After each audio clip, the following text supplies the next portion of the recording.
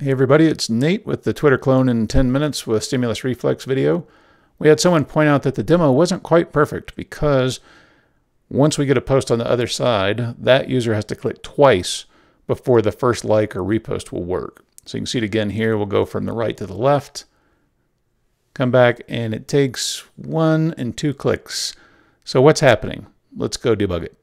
Let's open up our editor, go into the controller, and in the controller, you'll recall we used cable ready to broadcast this insert adjacent HTML event. So let's go learn about that a little bit in the documentation. We'll pop over to the cable ready docs and look at insert adjacent HTML. And we're interested in these events, these JavaScript events. So we're going to take the after insert adjacent HTML event and we're going to wire that up. So to do that, we'll go into our JavaScript file, for now, I'm just going to go into the application controller. I'd probably put this somewhere else in a real app. But we'll come here and add an event listener, and we are going to listen for that uh, cable ready event. So what are we going to do on that event? Let's go take a look at the stimulus reflex docs.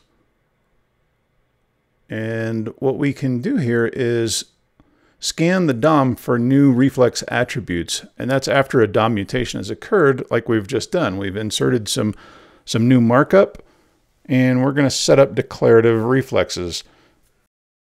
On a timeout to ensure everything else has time to complete. And what this will do is we'll find any new elements that declare a stimulus reflex attribute, and we'll wire that up to stimulus reflex. So let's give it a test. Refresh both sides. We'll come in, add something from the left. All right, let's go over and try first click. Perfect. Let's do it from the other side just to prove to ourselves we fixed it. Create the post, come over here and first click. Yep, we're good. Again, thanks for watching.